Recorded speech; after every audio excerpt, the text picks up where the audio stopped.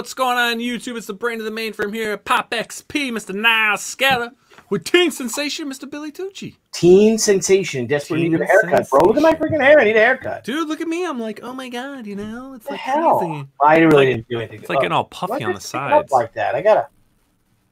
Oh, boo hoo, bro, boo hoo. What a mess. Just a mess. So how you doing, man? What's going on? Shh. I'm doing great, bro. I am doing great. I'm busier than a one-legged man in an ass-kicking contest.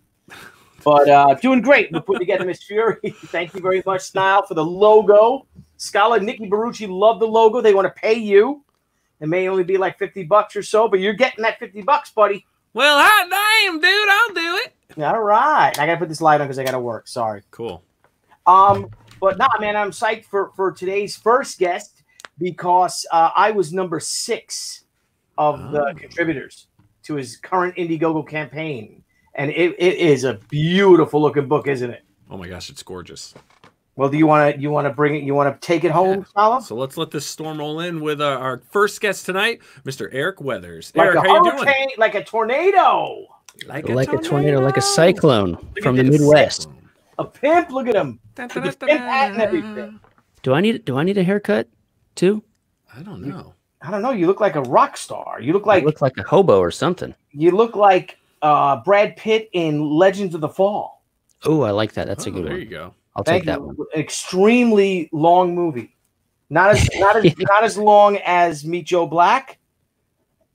He likes those long movies because even Benjamin Button was long too. Yeah. What's oh, up it's with up that? with that? extremely long. Just make a give me a give me a Brad Pitt and Fury and Inglorious Yeah, Bastards. That's there what I like. That's what I Oh, like. Yeah. That That's what I like. jawline, That's huh, what I'm guys. talking about. Tell you what. What? What? Brad Pitt's jawline? Wait, what are we talking about? What? Brad Wait a minute. Come on, let's get to comics, huh? Sure. Oh, Metal Movies and Brewski's got uh beers Yeah. going on there. Dude, I could so go for a beer right now. Dude, so can I. I have not drank since it's been a month since I drank anything. That's depressing. I'm out. I, ran, we, I just got back from vacation. I'm out. I haven't I haven't restocked. Oh man, Oh, dude, that's not happening. Well, I'm gonna. I'm looking forward to uh to uh Wednesday to Sat Friday night. Friday night, gonna have margaritas. Very nice. to buy myself a Nice. nice bottle of single malt. Nice, nice, nice. So let's get down to business. Look at this. Look at this freaking Dude. behemoth. Battle Brick Road on Indiegogo. Eric Weathers. Dude, you're crushing it. You. 3,496% funded. What? It's a big fund. that is a great You got fund. five days. You need to get fifty grand. Let's get to 40 first. We'll get you 40. Let's work on 40, but 50 we we've actually got a good stretch goal at 50. I'm sure we'll get there though. Yeah, you Oh. will. You will, because you're gonna do in demand as well, right? Well, this is only the first 30. We're gonna we're gonna hit it again Nice. Oh, on the, after this countdown. So yeah, yeah. Awesome. So It's- tell us a bit about Battle Brick Road. Yeah, of course. Battle Brick Road is, in short, it's Wizard of Oz with guns. Uh, we we took the the main story of Wizard of Oz. It was written by my good friend Zeb Hatfield. I came to him with this kernel of an idea, and I said, "Hey, I'd like to do Wizard of Oz, but put a, a twist on it. What do you think?" And he took my my bare bones idea and really fleshed it out and get made it a whole new world and made it just made it fantastic. So we tell the story of of Thea Gale, who grew up in this world of dust and destitution. She lives in the mid in the Midwest of the United States, but it's all desert. It's been desert for for decades. So she's she she doesn't know anything else but living in the desert, sort of Mad Max style. Nice. And she's been looking for her dad her whole life, and uh, unsuccessfully, I should I should add. And one day, uh, out of the blue, she get they get a message from somewhere, and it's her dad, and says, "Dorothy, I'm here."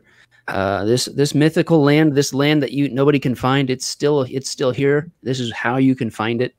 And when you get here, follow the yellow brick road, and you'll find me. So that sets her on a journey to go finally be reunited with her father.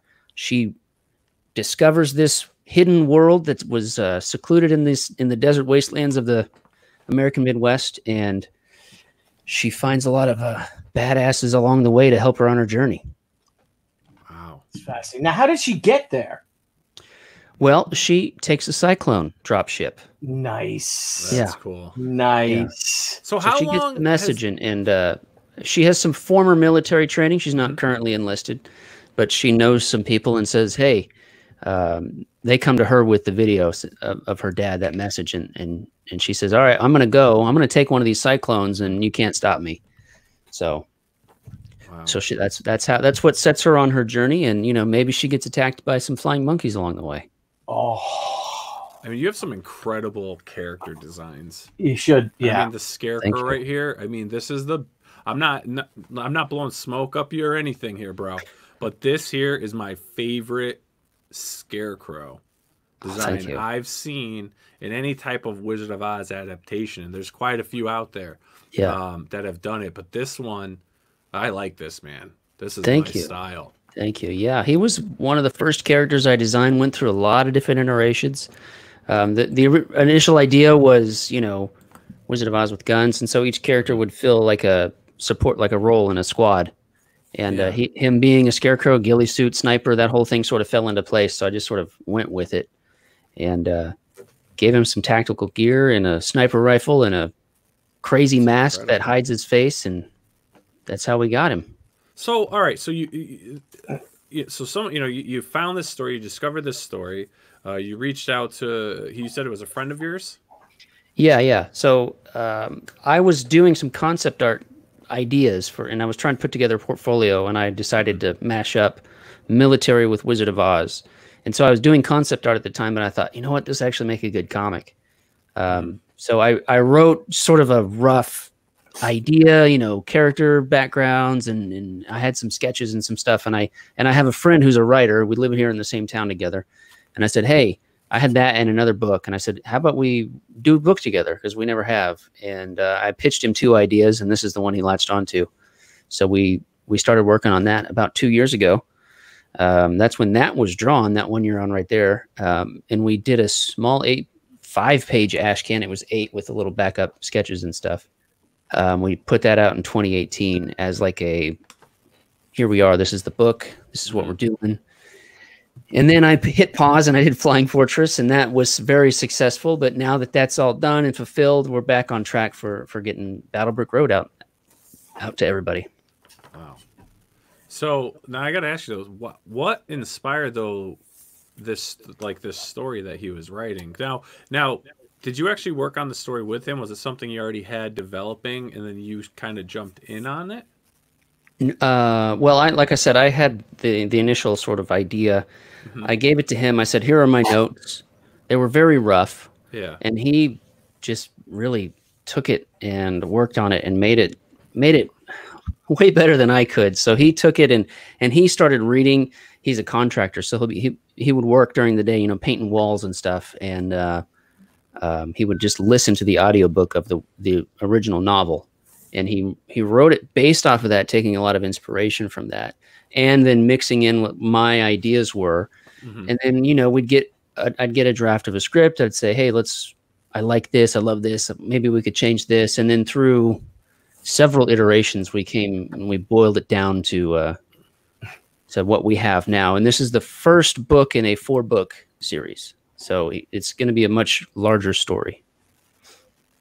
Oh, awesome! Metal movies and Brewskis. I backed this book with the making of Tier. It's gonna be big. Nice. It is. Yes, Now, it What is. inspired your character designs though? Because I even noticed like um like with your Tin Man, right? Yeah.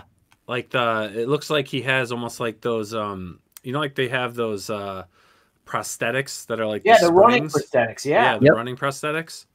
Yeah, I I took a lot of inspiration from sort of all over. Um, those legs there, I, I you've seen those Boston Dynamic robots. I was the just gonna say, yeah. yeah that you can they you know they have these robot dogs that can go over any terrain they kick it and it keeps its balance that's where i took that idea for him they're really springy like like those uh, prosthetic legs for people that that uh, do sprinting it has that sort of spring to it i really like that aesthetic of him being a sort of you know agile uh, but tough character and he and lion uh, their designs have changed Lion's design has changed a lot since I drew this, but it's such you know people have seen this image for two years, so I had to you know I had to put it on the campaign. Yeah. Um, but uh, Tin Man's pretty much that, but uh, given the way the story unfolds, um, he's going to have minor just more of an upgrade to his to his physique. And the lion is completely different now. He's um uh much more of a mutated version of a hybrid between a chimera, if you will, between a, a Mhm. man and a and a lion. Not so much like uh like Ron Perlman in uh, uh, Beauty and the Beast, on USA back in the day, but a bit, a bit more monstrous. Um, so but those two don't show up until book two. This one focuses on Dorothy, Toto, who's Mhm. that little beach ball above the lion's head, and Scarecrow. So you're going to get to know these characters, and then down the yellow brick road or the battle brick road, you will, in the future books, you'll uh, you'll see you'll find more more enjoyable characters. Now, if you don't mind me asking, why is Toto this uh, floating orb robot? Why Uh, not? one of the- yeah, Whoa, why bro! not? Yeah. Whoa! One of one of the Coming at me? inspirations when I was coming up with this idea, I was playing a game called Tom Clancy, a Tom Clancy's game called The Division, Mhm. and it had a lot of in the game. You can have these little tech things, and one of them is a drone that you can send up and sort of it'll ping the area, and you can see where the bad guys are. Mhm. And as I was coming up with this idea, I thought oh, that'd be neat if maybe she has a drone that could do that. And I thought, well, that could just be Toto. And at the time, he was a, originally a drone, as we're used to seeing with the four propellers and you know very this way. And then I thought, that's cool, but you can't do anything with it. It's just a drone. It doesn't have any personality. Mhm. So I turned him into a beach ball, gave him these wings on the side that will sort of act like ears. So he should be able to emote to the to the camera, to the audience Mhm. with those. You know, as a dog will show you what's going on inside its head when it's you know angry or sad or scared. So that'll be part of the idea of making him sort of still be dog like. And he's gonna he's a character all on his own. He's probably one of my favorites. Um, he's a he's gonna be a sleeper hit. I'll put it that way. He's got there's big plans for Mhm. Toto in the future. Nice. Very cool. So now they're a tactical force, right? So what's each character's special? Well, they aren't uh, they aren't a unit, at least not together at the first. You know, Dorothy is new to this world, and these people, the others, have been there for for for a long time. But if you were to break it down as if it were, if they were a squad, Dorothy would be your standard assault. You know, just a rifleman, um, just having an assault rifle, maybe a sidearm. Uh, nothing, nothing too fancy. You have your Overwatch position, your sniper, with Scarecrow. You have your heavy weapons uh, kind of guy with the lion, and you have your demo guy with uh, with Tin Man, and then cool. Toto being the sort of Swiss Army knife that R two D two was in Star Wars. Oh, very cool. That's brilliant. that is brilliant. So, how many character designs did you end up going through, or was this kind of all just kind of coming to you? Like, all right, I, I drew this, I like this, or or did some of these characters? It's like, all right, I went through five or six different renditions. Uh, a lot of the, actually a lot of the stuff you'll see in in that making of book, the supplemental book, which is part of the campaign. But the, a lot of them, like Dorothy, I I think I pretty much got her right the first time, but I didn't know it at the time. And then you do another and another, and you're like, nah, it's not right. And the, I was right the first time. Um, I did. I, you know, she does have a military background, but she's not, like I said, she's not currently serving. Mhm. So I wanted to be able to have her not be completely um, useless out in the battlefield, but also maybe a little bit rusty. Um, and she had more of a militaristic militaristic design in the beginning. And there's a page you scroll down and you see she's got a beret, um, and that could be from her former uh, UDC unit that she was in. Uh, Scarecrow went through a lot of variations, but basically the same design, man in a mask. But in terms of like, I, I don't want to over Yeah, I don't want to overburden these characters with the gear, um, you know, pouches and, and holsters and all of that stuff, just because Mhm. it becomes burdensome to draw. And I want to be able to make them look cool, but still maybe have hints of that kind of stuff. Uh, and then Tin Man is pretty much the same as he always has been, but Lion I think has gone through the biggest change Mhm. uh, of of all the characters because he started out more like a kind of just like a saber tooth look, and Yeah. uh, now he's just just this beast of a of a man. Now, do you So- plan on updating uh, the campaign at all? Like maybe when you go for the next run here, um, updating some of the the images in, maybe showing uh, the character design of the of the new lion and stuff like that. Yeah, yeah. I'm a little hesitant to show off Lion and Tin Man right off the bat, because they're not going to be in this book, other than some character designs in the in the making of Oh, okay. in the storyline. But so like the next campaign, it'll be a whole lot of that stuff. But uh, you know, right now Scarecrow is is very popular, and it's a lot of fun to be able. He's just a blast to draw. I have so many Awesome. questions, but I don't want to like try to Okay. put you on spoilers about Right? That's the, I'm not even. How about you ask them, and I'll let you know if Yeah. I can answer it or not. Yeah, no, I, I, I, uh, I saw you on uh, Comic Artist Pro Secrets talking about it, and I'm like, Mhm. oh my god, those are. The que-. I'm like, yeah, that's a spoiler question. I don't want to hear this. I don't want to hear this. in case- but now, um, the Scarecrow. Uh-huh. Uh, if I can, let me know if this one is that a person under inside that mask, or does he not have a brain? No, we're not. We're not taking the literal "no brain, no courage, no heart." We're not Mhm. doing that in that as literal as the book does the book and the movie are. He is a human being under there. Um, he. Uh, it's not as simple as I need a brain or I need a memory or anything like that. It's Zeb has really done well uh, making this.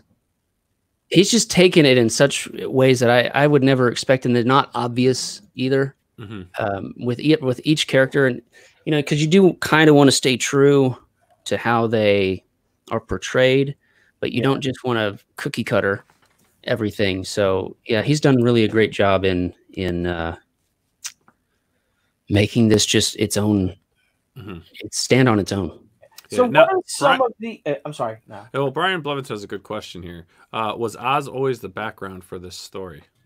Yes, yes, it was. It, like I said before, it started out as like a concept art idea of what if it was Wizard of Oz, but they were a military unit, and it just evolved from there. So it has always been, from the very beginning, it was always an Oz, and it wasn't like I didn't set out saying I want to make a Wizard of Oz story. It, Mhm. it started out as this is kind of a cool concept for because I was trying to build a portfolio piece for concept art. And uh, I mean, I just I had just gotten started, and I thought, man, this would really make a good comic. So I just sort of changed gears and and went as as a comic. It wasn't like how could I make the Wizard of Oz cool as a comic book. It it kind of has a different trajectory than that. Yeah. So what is what are some of the differences and similarities between the original uh, Oz and Battlebrick Road? Well, this one has a lot of guns. There's one gun in the original Wizard of Oz movie. You can see there's a Really? scene where Scarecrow has a little six shooter pistol for like a second, um, which is really funny. Uh, you can Google you can Google Scarecrow Wizard of Oz pistol, and you'll see him like with a spook a spooked face with a gun in his hand. Um, you know, we have the same characters. You know, we have a Dorothy, a Lion, a Scarecrow, a Tin Man, a Toto. Mhm. We have the witches, but they're not m- mystical, magical witches. They are AI constructs that were created to control Oz uh, by the wizard, by Oscar Emmanuel Diggs. He created these sister AIs that were supposed to work together and keep this place in harmony. But sometimes good robots go bad, and sometimes they go really bad. So that's where we get our East and West Watchers. Um, the the idea of Dorothy in a land that she, you know in, in what we're what we're familiar with is Dorothy is this young girl who just doesn't want to be where she is. hmm She wants to go somewhere over the rainbow. Um, she's not happy with it. In ours, she's she's on a specific mission. She's lost her. She her dad was taken from her when she was like four or five years old. She's been trying to find him this whole time. Doesn't exactly know where he is, but you know, following leads and all of this stuff, and always ending up on a dead end. And uh, so she's specifically seeking something. She has her, right, right. Yeah, she's got a specific mission. Yeah, Saving Private Ryan, exactly. Mhm. Yeah, um, and uh, we we follow. You know, we have the yellow brick road in it, but it's not it's not how you're going to expect it. Um, we have Munchkin Land, but it's not a, a land of little people. It's oh, a really? it's a town under subjugation from the Watcher of the East, Sm- very much like the Wicked Witch. But you know, Dorothy crashes. She's not gonna. It, there are gonna be things that. Zeb, Zeb has has given this uh, script over to some other writer friends of his, and as he said, he's very happy that when they read it, they sort of forget that they're reading a Wizard of Oz thing until maybe something jumps out, like, "Oh yeah, this is Wizard of Oz," and then it makes That's it like, "Wow, this is yeah. a really cool way of doing this." Yeah, yeah. So, and that just I get so excited when he when he talks about that because uh, you know you want it to there's a lot of Oz stuff out there, and it's usually it's usually like Oz with a different coat of paint. hmm And Yeah. I feel like we've gone down and retooled the engine and really kind of decked it out from the inside out. So it is Oz. It's got that familiarity, but it it's it stands on its own as well. Yeah, I mean, it sounds that like that. You know, from what you're uh, explaining of the story, you know, looking at the art and stuff like that. You know, you do kind of look at it and it's like, oh shit, this is a Wizard of Oz like adaptation or influenced by. You know, and Mhm. I, and it seems like you know that's a really awesome goal to achieve is the fact that someone's enjoying this book and all of a sudden they see like you know. You know, they see the words Munchkin Land or something or what have Yeah. you, and it's like, Yeah. oh crap, yeah, this is freaking Oh, yeah, like Wizard of yeah, Oz. Yeah. You know, I mean, it's it's a high octane thrill ride. And we open up. I mean, there's a we open up with this awesome car chase, um, futuristic hover cars and hover bikes going. You know, and you know we It's freaking badass. I mean, in plain and simple, it's Yeah. badass. And I mean, gorgeous looking. uh, it's gorgeous. Again, like I was telling you before the show, I mean, I can't get over your scarecrow. Like I freaking love your scarecrow design. thank you. Thanks. Everything looks great. I really can't wait to see more. I'm definitely once we're done because I'm not going to do it on the air, but uh, I'm definitely backing this. Definitely. Oh, thank you very much. Yeah, it, it's been it's it's a passion project. As cliche as that is to say, you know, these days it really is. Like we've been toiling away on this for for two years, just writing and rewriting and character designs and making sure everything was was right. And they, they would get to the point where we think it's good, and then I'd I'd I'd talk to Zeb a month later and be like, "Oh, uh, we have an update on the script." So there's been times there's been starting and stopping of me like layouts and drawing. So, but we're finally like this is it. We're locked in. So yeah, right. yeah. so now, how many people have actually worked on this book? Uh, just me. I'm the artist, and I guess creator. Uh, Zeb is the writer, and uh, Farah Normaliza is the colorist, and I will letter it, of course. Incredible. So Incredible. the three of us. So you're doing this book. You've also, you know, Eric Weathers letters, everything. Um, Just about. Yeah.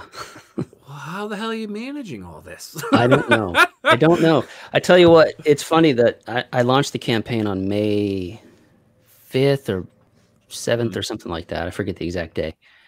And uh, I had a great start. I mean, we came out of the gate, guns blazing. Uh, we made like 17 grand in the first 24 hours. It was phenomenal. And it was like the next day, I get, oh, hey, these books are ready to letter.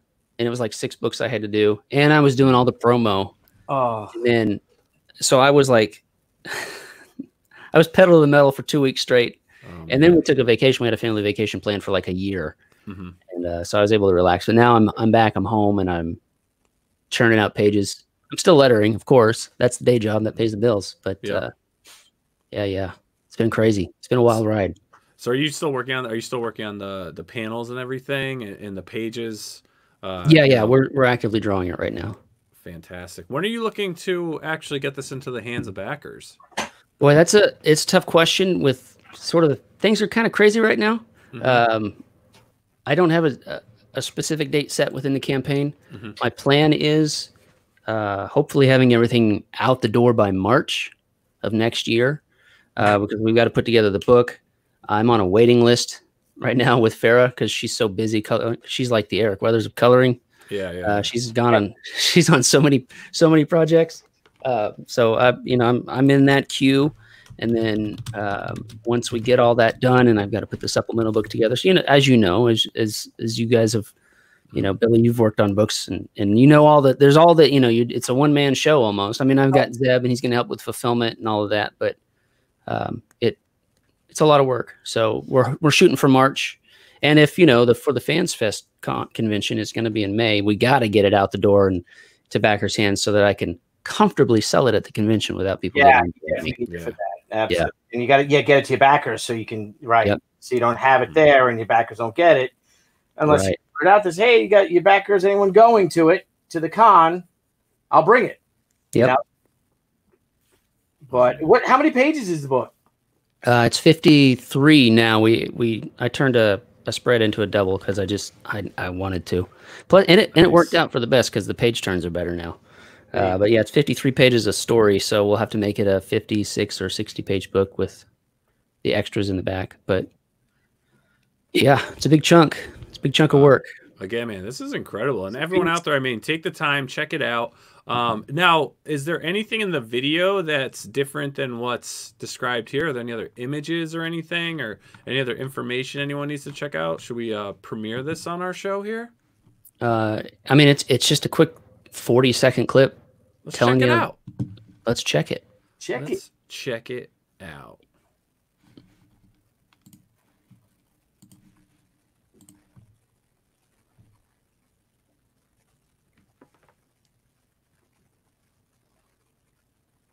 I don't hear anything. Oh, that's right, because we had the echoing before. Bump Yeah. bump. Look at that silliness. So we Yeah. can't play the. We no, can't. no, play we all- can, we can. Everyone just look at everyone's pretty faces really quick.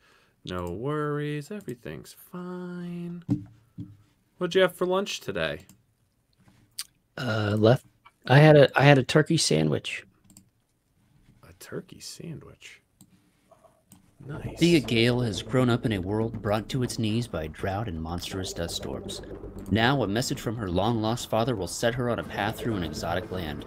Along with her trusty sidekick Toto, she must befriend a ragtag group of outcasts to endure the many challenges along the way.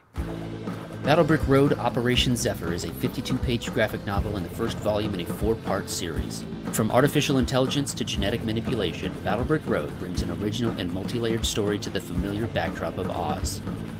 Back it today and help bring to life this apocalyptically fresh take on the classic American fairy tale. Only on Indiegogo. Yeah, man, I gotta say, like, the art is just incredible. It really is. You're doing Thank a you. killer job on this. Now, if my memory serves me correct, uh, I think it was our first interview you ever did with you. Did you say you're self-taught when it comes to your art, or did you go to school for it? Uh, Uh, no, no, self self-taught. taught. Self-taught. Echoes Okay. back, by the way. Echoes Echoes- back. I got you. All right. No more echo, right? Test. All right. Perfect. Okay, we're good. Yeah, it's just it's this. I don't know. Something's up with Streamyard when you're sharing the uh the audio from the desktop. It's echoing things out tonight. Huh. But anyways, we've got that under control. And uh, yeah, everyone, if you can get out there, check out Battlebrick Road. Uh, if you can back it, back it. This thing looks intense. Um, I can't Very. wait to see some more stuff. If you post a few more previews of some pages, that'd be fantastic. Actually, There is a new page up. Uh, if you if you refresh, I up, I uploaded it right before we came on. what? There's a new page up. There's a new page here. Yeah, scroll down just a little bit more. There you go. That's it. Oh, nice. Nice. That's awesome. World premiere. World, premiere right here, live on Pop XP. Yeah, and if you guys can, man, share, share, share, share. Get this book out there. Get it on your Twitters, your Instagram, Facebook, whatever you're using, uh, and spread the word. Five days left on the initial campaign. Uh, this will go in demand. Uh, are you extending the campaign at all, or just going to go? Yeah, we're gonna we're gonna extend it on. I guess it will be Sunday night or early early Monday morning, two a.m. Central. Um, Beautiful. I'm gonna you, you got to play with that Indiegogo algorithm a little bit, so I'm gonna let it go to the last minute or two and then hit Yeah. 60 days, and then it'll go another 30. Fantastic. Now let me ask you one last question on my part here. With the extension, and it's just a yes or no question. Will you do you will you be premiering any maybe other artists, any variant covers, anything special up your sleeve? Not yet. Not yet. Ooh. Okay. Mm, So Emphasis on yet. yet. there's still a chance. Perfect. Perfect. Look at his Still a chance. monkey, ain't he? Look at He's like he wants to say something, but he He's got the can't. Cheshire cat. His will is strong, Billy. Yes, Cheshire cat. Look, look, look. We have plans. I can't wait. I can't wait to find it out. We have plans with either to find the plans. All right, man. Eric, we appreciate it. You're always great to have on the show. Um, and you're pleasure. honestly, man, welcome anytime. Uh, keep us in the loop with what's going on. Uh, any Will other do. projects you're working on, um, you know, send our way. And Sure. uh, thanks, dude. This is awesome. Like I said, you'll see my name pop up as a backer after the show tonight. Sounds and, great. Uh, I encourage everyone else out there, if uh, this is your thing, do it. If not, heck, still share it. Help support indie creators. Eric, thank you for coming on, and Thanks, we will Thanks check for the talk with you later. Bye, guys. Guys, See you later, bro. Freaking sick. Dude, that was I love awesome. his art, dude. That's awesome. We've seen a lot. We've actually had a couple, uh, you know, variants on, um, you know, the whole Wizard of Oz story, and you know, this one takes the cake for me. He- Yeah. he's killing it. That art is freaking insane. So speaking of freaking insane Yeah, let's art, go. something fun, something I'm digging, man. Our next guest tonight is Mr. Greg Schoen. Greg, how are you doing tonight? I'm good. How are Did I you get guys? the last name right? uh, you know what? Shone, Shane, Scone. Yeah, I've lived my whole life having it wrong. I don't. Well, even how know does what your it is anymore. mom? How does your mom say it? Well, it's a S C H O E N, and uh, to make it simple, we've we've always said Shane. Shane. All right, Greg Shane. Yeah. There we go. Yeah, Shane. Shane. All right. I'm very man. excited to be here tonight. I Hey. I, I love this show. We're happy Oh, to have you on the show. We're so happy you enjoy the show. Now, this is your first time on the show. Um, Yes. So, what we love to do with our first time guests, Greg, is you know we'd like to get to know you. Um, you know, you've got a half hour slot here to promote your stuff, but we'd like to spend a few minutes getting to know you, kind of your origin Yeah, sure. story. Uh, you know, I'm I, I like to call myself when it comes to comics that guy. So uh, it to get to to this point now, uh, you know, doing the Indiegogo campaign for the Wraskles. Uh, when I was 25, I said by the time I was 30, I was going to be a published, uh, you know, writer in comic books, Mhm. and uh, I'm in my 40s now, and that you know basically how it started was I decided to start getting into it. I'm from Winnipeg, Manitoba, Canada. I'm a prairie boy. And at the time, uh, Igor Corday was uh, a guy that was living in Winnipeg. He was working with Grant Morrison on the new X Men, and he went to the same. How's it going, eh? Oh, did we lose him? He's frozen. He's frozen. Oh no. comic book shop is see if uh, you know I could maybe interview him for a site that was uh, it used to be a, a comic book site called Silver Bullet Comic Books. Mhm. Um, and so he said yes. I interviewed him, and then you know, of course, did the sneaky thing, and I said, "Hey, man, I'm trying to write comic books. Can I send you scripts?" And you know, this is a guy at the time who's who's working with Grant Morrison on on X Men, and the guy is so nice. He said, "Yeah."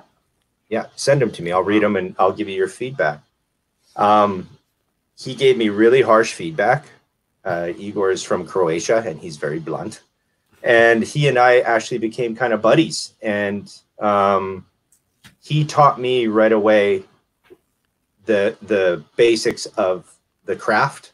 Mhm. and from there i just started working and trying to you know find artists to work with submit pitches to to companies you know get rejected get rejected get rejected. Um, fast forward about 10 years i've stopped doing it. I've gone back to it i come up with an idea for a book uh, and that book ended up being my first published work called raygun that got published by arcana studios uh, from vancouver. And that was last year. Raygun um, get you know is a very very cool project. And actually i got to go to san diego comic-con last year Oh, nice. uh, at the yeah at the arcana booth signing my book and selling it and uh, the guy beside me was selling his book called goblins and that's the artist on Wraskles so we spent two days just sitting there just making our you know each other laugh pretty much for for you know how it is at the at that con you're just with somebody forever right Mhm. and um Yeah, sometimes last- you're married to them. Yeah oh, oh, jeez. She's not Jeez. watching. It's I okay. hope she's not watching. She hears not watching. everything. she could always watch it on playback right oh yeah, Oh, Um, shoot. you're gonna want to do it. so at the end, Kurt says, uh, the artist, uh, Kurt's Burging, he says, Hey, man, um, we should work together, which is like, you know, everybody says that. Hey, yeah, yeah, that'd be really cool if we did something. I didn't think anything of it. And then uh, he sent me a picture of four rabbits. and he said, "What do you think about these characters?" I said, "Yeah, they're really cool. They're cute." He said, "Yeah, this is this is going to be it. Let's do it." Hmm. And that's how that's how we started working on Wraskles. That's freaking awesome, man. And uh, here we are. The Wraskles Book One Crossroads at Porksburg. yep. So now this is obviously there's some paranormal, supernatural going on in this. Before Yes. we get into this, Oh, Greg, here we go. I need to know something. Oh, here we go. Do you believe in ghosts, UFOs, Bigfoot, the supernatural? Ah, so I don't know about the supernatural and ghosts, but when it comes to aliens, literally my sister and myself were raised to believe in aliens. We had parents where when we said, "Hey, mom and dad, uh, you know, are there aliens?" They looked looked us dead in the face and said, "Yeah, of course, yeah, of course." Raised them right. So them right. Did they have an experience? How are they so confident? Or are your parents? I just think it's I. Well, first of all, my mom is a, a big list was a big listener to Art Bell. Mhm. and I think that uh, I think that was a big thing. Um, and I think it's just it's the same same belief that I have is if the you know the galaxy and the universe is infinite, doesn't that mean that there's an infinite number of possibilities? And if so, how are you going to discount anything? Um, you know, So true. That- that's what I'm thinking anyway. So But do you think that they can be physics? Yeah, remember the conversation we had that it's Yeah. almost on a celestial plane or something or another dimension is what these these aliens are that are coming here. Say the, the UFOs and all. Because how could something travel so far and live? You know what I mean? To, Yeah. from a, you know a, you know from from a you know a light year away even. How the heck? And how could they get the propulsion to get here? hmm You know what I mean? Like so, and you wonder, like, if they have, how come they haven't tried to take us over or take us over? Or- No, I, I totally, I totally think that that alternate dimension thing is is a plausible theory because their their physics are different than us. Even how they're moving, uh, you know, you see all these Navy aircraft pictures and yeah, you know pe- Yeah. people describing what's happening, and if if they are in fact extraterrestrials and they're here, or extra dimensionals as I call them, and they're here, uh, they can't be moving like that using our physics. Correct. So I think probably we'll- we're just seeing them on a spectrum that our eyes can see and our brain can see, but we can't kind of as a as a people, co- you know, perceive as a as a race kind of thing. So I think they're just on a different vibration, man. It's absolutely fascinating. it isn't is. it? Oh my god! It is. Can't wait I to watch. So, so we have to have Greg back on to our uh, UFO show. so that we can talk the physics of That'd be rad. UFOsologies, Billy. That's You- yeah, I love talking about that stuff. X. I love that crap, man. I just love. I'm not even. I shouldn't even say crap. 'cause I don't think it's crap. I just love that stuff because it's just the unknown, the vastness of the universe. hmm You know what the hell is out there? Think about it, 100%. right? Maybe maybe they have teleportation or something. Who knows? They can just blink from one area to another. Yeah, but can they Bend space and another thing. time. They teleport ships though and all objects? Hmm. Well, let, you know, let's get let's let's keep on let's get let's get right down to the nitty gritty here. Because we're just being a couple rascals ourselves now. So, Greg, let's get into the Wraskles here. So this is this is your is this your first campaign? So this is this is my first campaign. Uh, Kurt had done one previously uh, for another book. I think maybe I don't know if it was Indiegogo, um, but yeah, this is our first campaign. Um, it's been really liberating hmm to to do this because, like I had mentioned before, I, I call myself that guy. You know, the guy who would write these scripts and these have these concepts, and then pair up with an artist, and then you know either pay or do whatever to do the pitch, and then you know that happens all the time, and it's you're always trying to break down that door, Yeah. and and you're you're trying to get approval from somebody to show people your work, and then as Mhm. soon as we started doing this, I realized we're not asking for approval.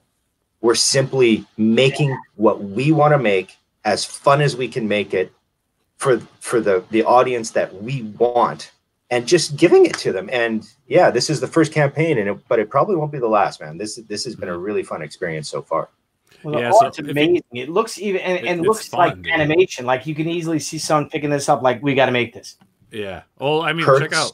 It just gets better Mhm. and better as you go through. It, the, it's fantastic, isn't it? Um, Kurt is an animation director for Cartoon Network, and Oh, wow. he's worked on you know Curious George, Anastasia, Sinbad, uh, Titan AE.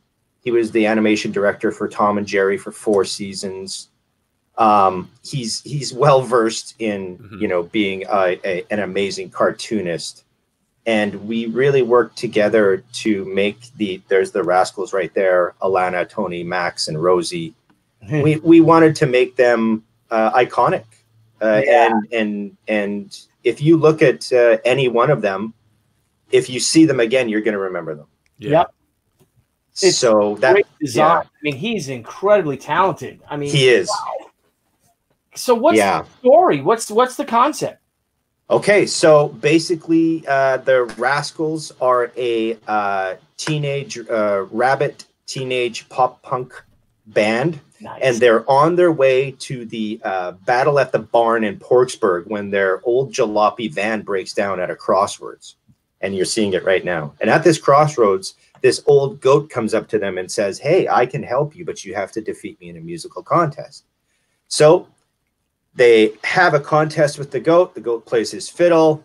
The ra- Wraskles aren't too uh, too impressed, and they play. And because they're so desperate to get to this gig because there's a super agent, uh, Justin Beaver's agent is uh, going to be looking at the. he's he's at the show. They play their hearts out. They play like they've never played before, and they defeat the goat.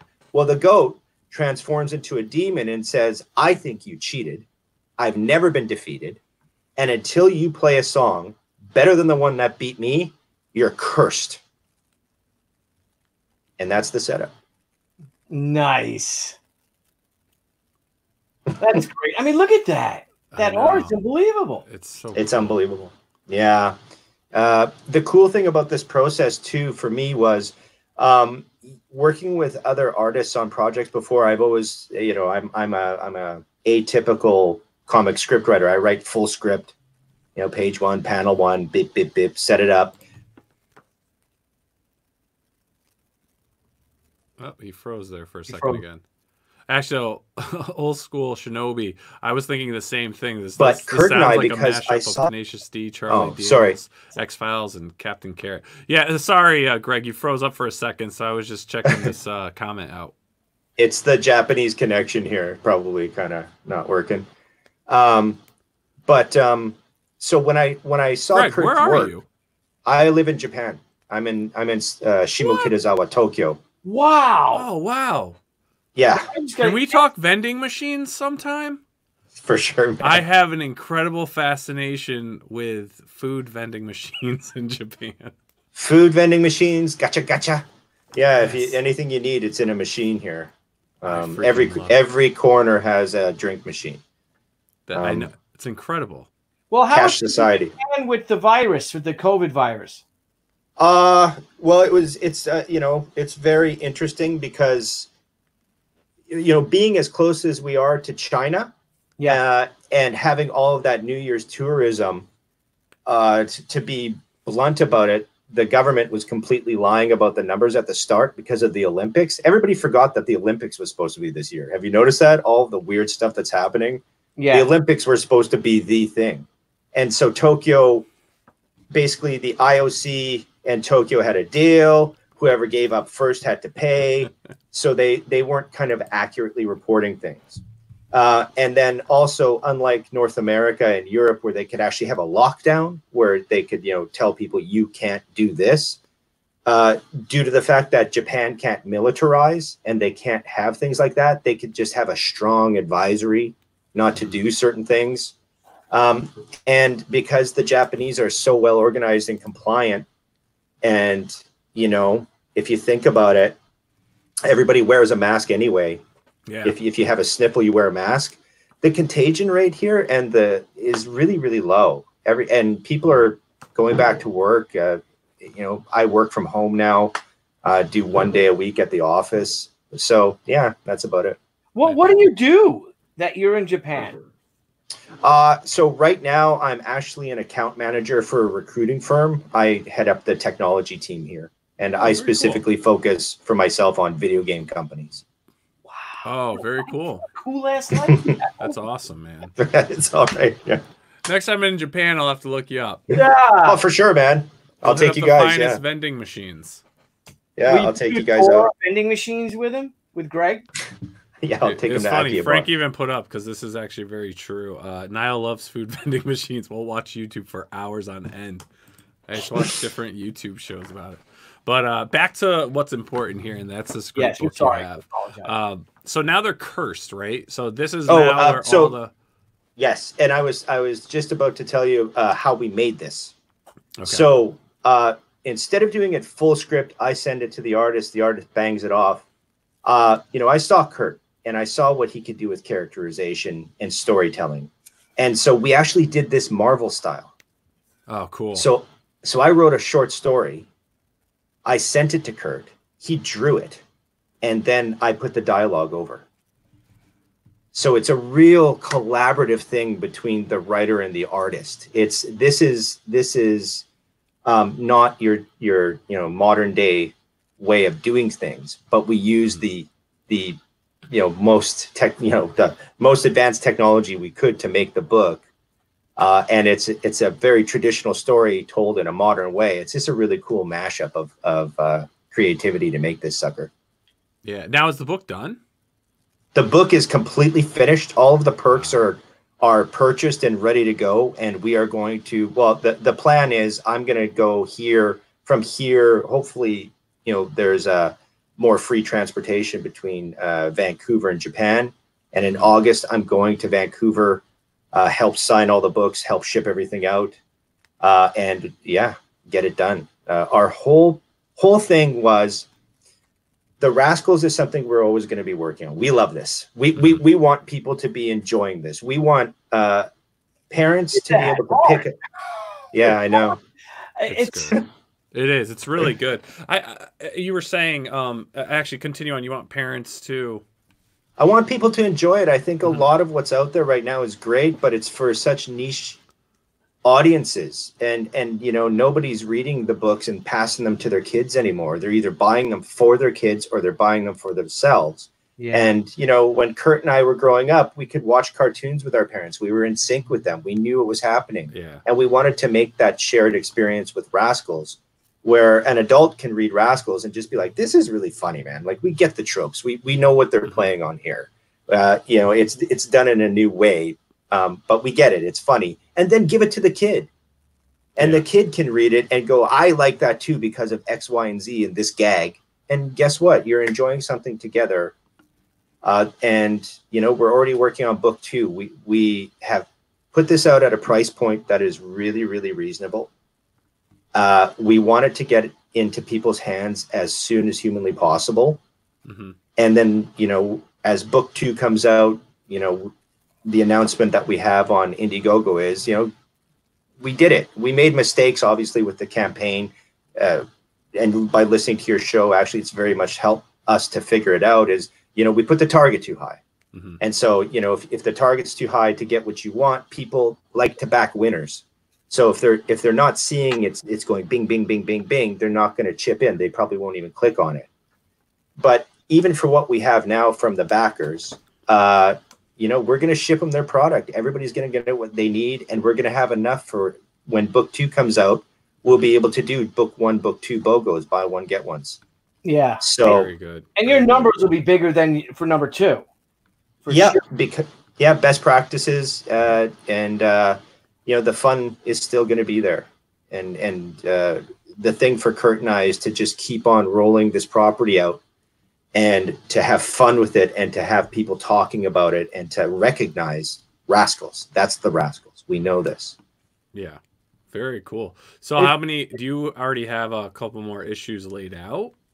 so yeah we're working on two right now Okay. uh, and we're hoping to get two or three out a year Uh, well, now let me ask you though, did was that really what inspired this though? Was it that kind of look?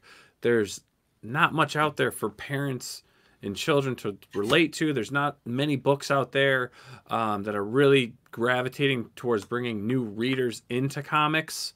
because I mean, you know, from looking at this, it, it, you know, it seems to be a good, a well all ages book. Mhm. Um, what what was was there a driving force there that really kind of pushed that? Yeah, uh, that's a really great question.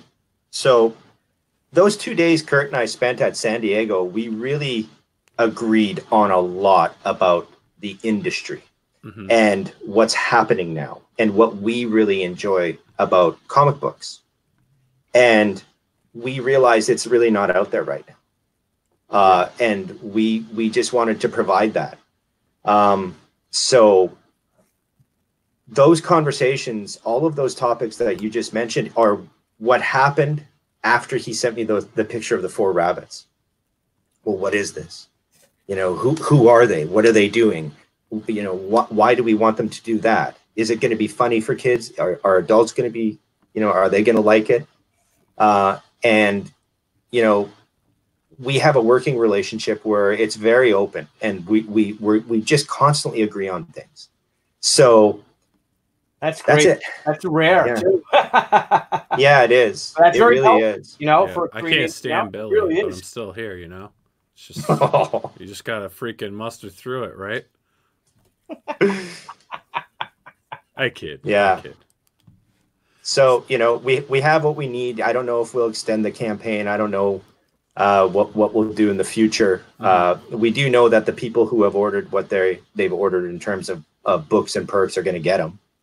That's Uh, fantastic. and yeah, man. And we're just working on book two. And Well, what are you doing for rolling. like social media and for getting it out there? Are you trying to get on other YouTube shows? Because a lot of the Indiegogo creators and stuff like that, there's a good kind of you know uh, a community out there. You know, there's a lot of other shows that are creator hosted. Um, Mhm. You know, are you really trying to push? Uh, yeah, getting on those shows, spreading the word of the Wraskles, and uh, you know, trying to like find that? them. Yeah, I have. Uh, yeah, really. You know, I made some really good friends in Arizona on the Absolute Geeks podcast. Uh, they were huge fans of Raygun, so I've been on that show a few times. Uh, Constructing Comics podcast.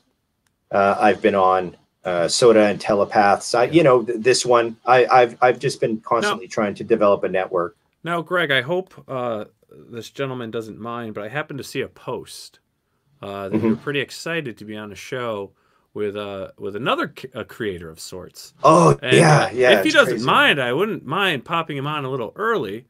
Um, Oh if wow. that's okay. If I can get a thumbs up in the camera, I'd love to have uh, Mr. Chuck Dixon join us right now. Hey, hey, Hey, hey, bro, how are you? good, good. How are you doing? Oh, you know, we're doing pretty terrific, you know, chilling out. How are you, brother? Fine, doing fine. Did you see this book by our new friend Greg here? I love funny animal stuff. This stuff looks really cool. Yeah. Thanks. Really. I'm actually going to pledge right now for it.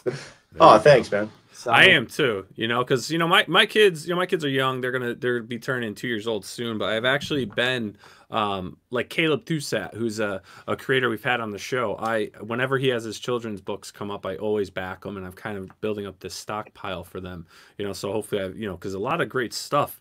Uh, you know, creator own stuff out there for all ages and kids. Um, I'm trying to just kind of stockpile some good things for them, just because in the mainstream, you know, it's I'm not really liking what I'm seeing. So you know this looks this looks great, man. I, I encourage you you. extend it. I encourage you get on as many shows as you can. I mean, unfortunately, when you're doing this, running the media, the social media, it's a full time job, constant pushing and whatnot. But uh, it's cool that you're working with you know an, an animator who's who's doing these illustrations and everything, and uh, it's freaking killer, dude. I, I really like what you're doing here. Thank you very much. It's uh, what's your Twitter ha- handle? Because I just backed it, so I'm gonna. Uh, the Wraskles at Gregory Shane.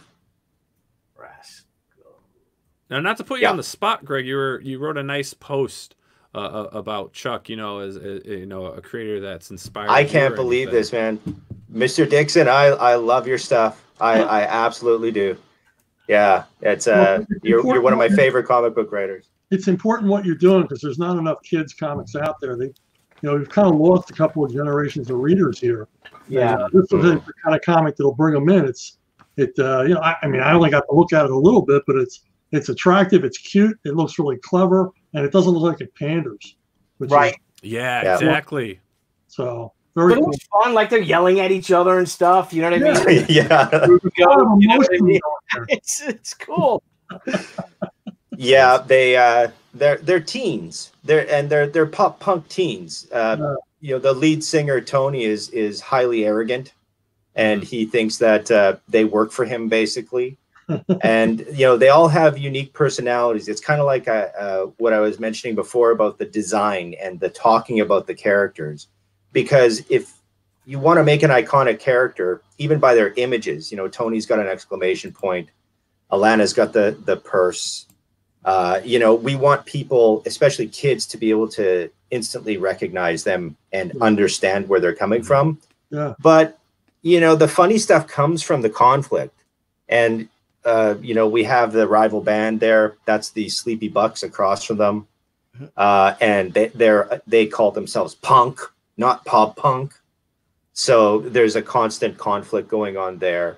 Uh, and kids, kids like it you know they, they they do have arguments with their friends and they do have problems that they have to sort out that aren't related to supernatural or uh, so we made sure to to make that an element Very cool. I just love those cats. I love that. that. You're right. Little demon cat I creatures. want a sticker like that. Right? That would be awesome. That'd be great. Well, Greg, man, thank you so much for coming on the show, sharing your Thank you. project. Uh, please keep us in the loop. We're glad you enjoy our show and that you watch it frequently. very much so Um, I think you're the only person, so that's a plus. No, sure. we have so many great people. We have so many great fans out there. Uh, but yeah, man, this looks great. Keep doing it. I really encourage you to push this. I think uh, just keep hitting it with social media. You should be able to hit that goal. Again, it's a good all ages book. Um, it, it's attractive. You know, it looks good. You know, Yeah. re- I've read through all your sample pages. I mean, everything's great. So I Thank definitely you very encourage much. keep pushing it. I, I wouldn't stop it after the 13 days. Keep pushing it, man. Yeah.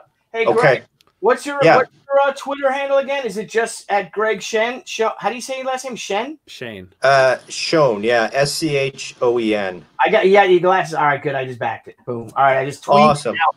I, Chuck. I just went on the Twitter. And you're still here. He's still, still here. here. So everyone, if you can, uh, check out the Wraskles Book One Crossroads at Porksburg a little deeper. Um, share it on your Twitter, your Instagram, Facebook. Uh, if you know anyone out there with children that love comics, uh, you know, help spread the word, help grow the book, help them meet their goal, so they can get book two and three and four and five and however however long they want to go out there and keep it going. Because this even looks like They're a coming. great uh, adaptation for an animated series. So good luck with everything, Greg. It looks fantastic. Uh, you're always welcome back on the show. And, Thank you very uh, much. Again, keep us in the loop, and I'll be reaching out to you so we can talk vending machines.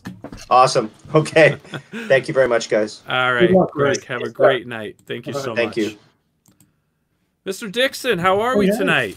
I'm doing good. I'm doing good. All right, we got another fellow creator here that's come in, Mr. Demitrios. Hi guys, Hey, you doing? Kala. you can hear me good, Kala. hey Chuck, how you doing? Pretty We hear you loud and clear. Loud and Great. clear. Ticana sa filo mo. Kala, Now- sipizimo. Now, is your uh, Good you got a third guy coming on tonight? No, um, Taylor wasn't able to make it. I sent Frank an email earlier. I let him know. All right, no problem, no problem. So, all right, guys. I mean, uh, Chuck, welcome back to the show. I think this is your maybe fourth or fifth time coming on. Something awesome like having you back. Uh, Dimitri, is do you go by Dimitri? Dimitri, how do you? Uh, Demitrios or Dimitri, Dimitri's fine. That's fine. It's easier. All right, Dimitri. So, uh, since you've this is the first time you've been on uh, Pop XP, crowdfunding comics, whatever you want to call it, you know, can you tell us a little bit about yourself, about your, you know, what you have going on, your comics, your origin story?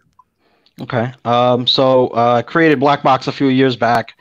Um, one of the things that inspired me was things that I was doing for a living, which is like banking. Um, and back then, I was collecting a lot of original art. I met up with Tucci a few times way back. I don't know if he remembers. We went for coffee. We had lunch. Yeah? And I was kind of telling him my plans in advance, years in advance. And um, I mean, it was a lot of work that was put into because I wanted to do it right and and do it justice and put out quality. Um, so I mean, I hired pros like um, Scott McDaniel, Andy Owens, uh, Teo Gonzalez, um, Taylor Esposito, who was supposed to be here tonight. Uh, most of these guys worked for DC, Marvel, um, probably some of the other like in, indie indie guys as well. Um, so basically, the IT guy was sort of a detective within the banking world, figuring out corruption. Um, so that was kind of what launched us, and it was very um, out of the ordinary, I guess, for the comic industry because it's not your typical superhero book. Uh, has, a, I'm sure, it's certain people who who like it who are into the financial sector or want to know more about banking. Um, but I thought we made it very uh, dramatic and interesting. Um, there was times even we actually reached out to Chuck and he even gave us some advice on what to do with characters. And and Chuck is such a great uh, writer and he knows how to make even the smallest scene interesting. And one of them that he advised us was, well, if he, you were always giving this guy such a bad day, is like have like some bug like in his cereal when he's uh, waking up in the morning that's ruin his day as soon as he gets up. And it's just like a little scene but it's just impactful i feel like and and and starts that the tone. I don't know if you remember that chuck. It was a while ago. It was a while ago. So i'm always giving people advice and then forgetting it myself.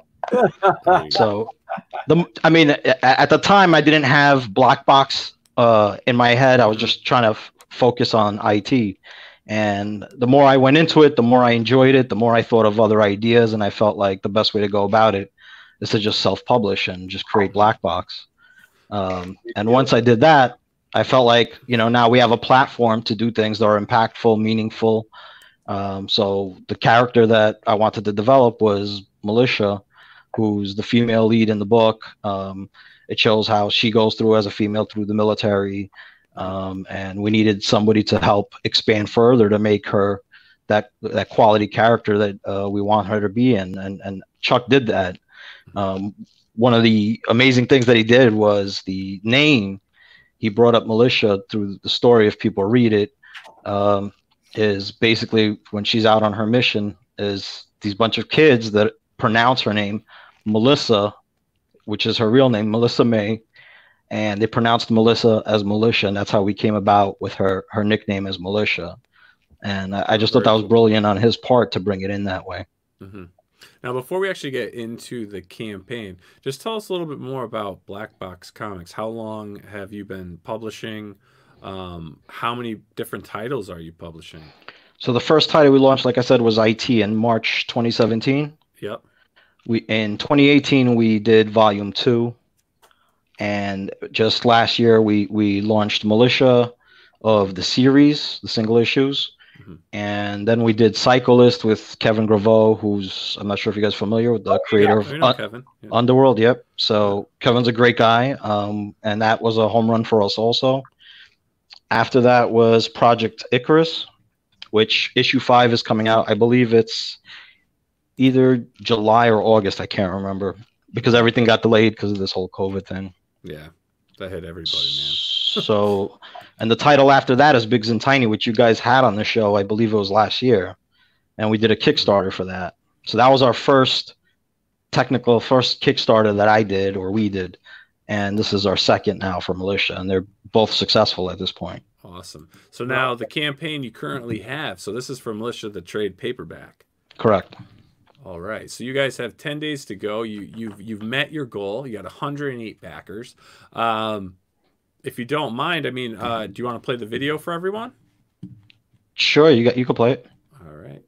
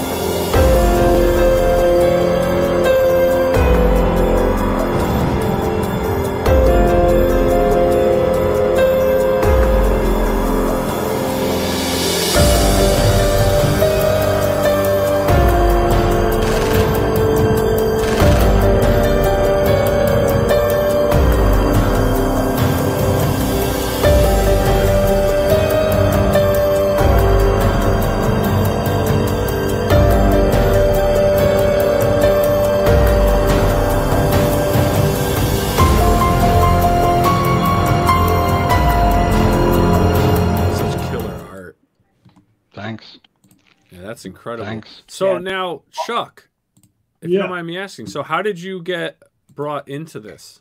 Uh, well, I, I don't know. You know, uh, I guess Scott McDaniel brought my name up. I would imagine. Uh, Demitrios should tell us that. So I, I only know from my end that I got a phone call from Scott and Demitrios, you know, laying the series out to me, their basic ideas, and they sent me um, a rough outline Mhm. Uh, of what they expected out of the series. And I just kind of took off from there, and you know, we you know, we came to an agreement on what the series would be like because there were things I wanted out of it and things they wanted out of it. So we had to have a common ground there. Yeah, I mean, this thing looks incredible. We've had the Holy pleasure that Demitrios sent us uh, some uh, pages from the first three issues, actually, with covers and things like that, and it's just fantastic. I mean, tell us about the artists, please. I mean, I love that to get the tech right. You know, you know me, Chuck. I'm such a stickler for that. Oh, Kind of, no, I'm the same way. right? You right? It drives you crazy, you know, Yeah. and it's spot on. So and, Je- and I'm appreciative when someone actually takes the time to do something right. You know. So Jethro did the interior art. Jethro Morales, uh, he's from the Philippines, um, and he did a real fantastic job. And any questions he had, but very minimal. Um, you know, he he shot it my way. I would ask Chuck, but it was it was so few that, you know, he was able to fly with it. Um, we did also include some art from other people to do like pinup art. Um, so like the one that you're looking at now is an Italian artist, uh, Martina Fari. She's fantastic. She has sort of that manga anime kind of style. Um, and the covers, I tried doing something different this time where each cover was done by a different artist. Um, the first one was by Jonathan Lau, and he's more well known for doing things like Red Sonja for Dynamite. Mhm. Um, the second cover was uh, Patrick Blaine. He's done stuff for Top Cow, Dark Horse. Uh, third is Sean Chen. I'm sure you guys know Sean from Oh, yeah. Marvel. Yep. He's on Batman Beyond right now. Yeah. The fourth one is uh, Brazilian artist Kleber Souza Lima, who's fantastic, and another Brazilian artist, Deborah Carita, on issue five. So I, I just wanted to play around and just get everybody's different take on the character and see how it developed. Very cool. So tell us about the story, though. So what Yeah. you know it, within these five issues in the trade ba- paperback, what are the uh, backers going to be looking forward to? I'll let Chuck. Chuck wrote it. Like he could tell the story better than me. Well, yeah, I want to. I want everybody to know up front. It's not a, a girl power book. You know, it's not a Mary Sue book. Mhm. Uh, it's as close to, um, you know, a, a women in combat in the war on terror as I could, you know, go and make it realistic. Um, the the predicate for most of the series is is that uh, Militia or Melissa May and her team, her all girl team, basically get inserted into Afghanistan, uh, and they've got to find the uh, the wife of a terrorist who's basically gotten away from him because she's got all kinds of intel. And um, I predicated on an article I read about a Hearts and Minds group of armed um, female uh, U.S. Army soldiers that uh, would travel Afghanistan, basically showing, "Hey, we're soldiers. You know, we got guns, we got ar- we're armored up. You know, we're combat ready." Uh, basically, to show women in Afghanistan, you know, you don't have to be kicked around.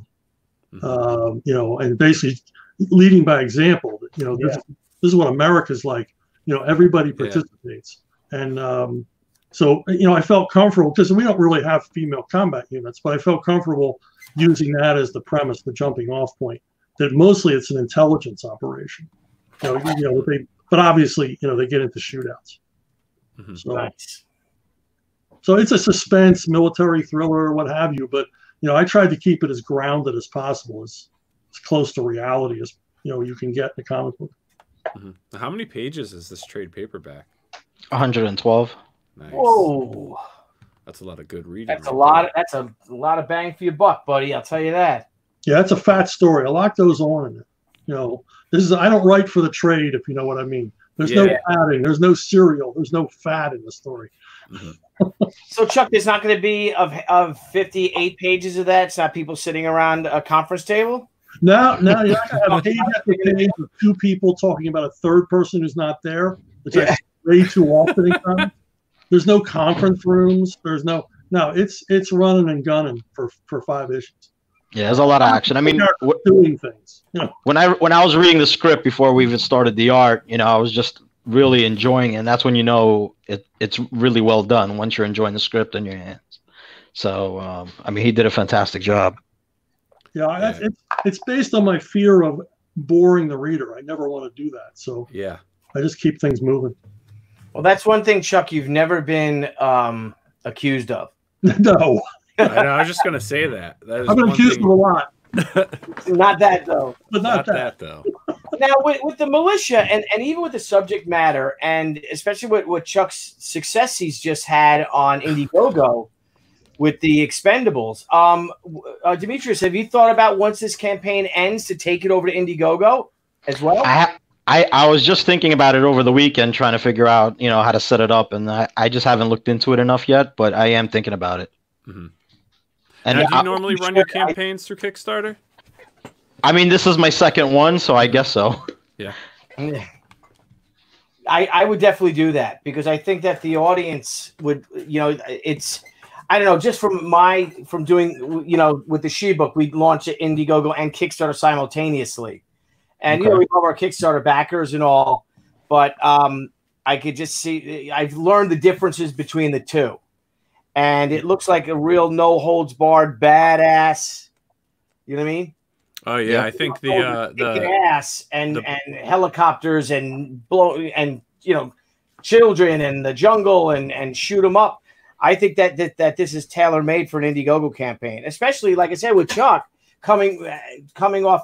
Not only is he Chuck Dixon, but also We'll Chuck do a new variant. come off of of making almost a quarter million dollars or what on the Expendables. You know, Yeah. oh yeah.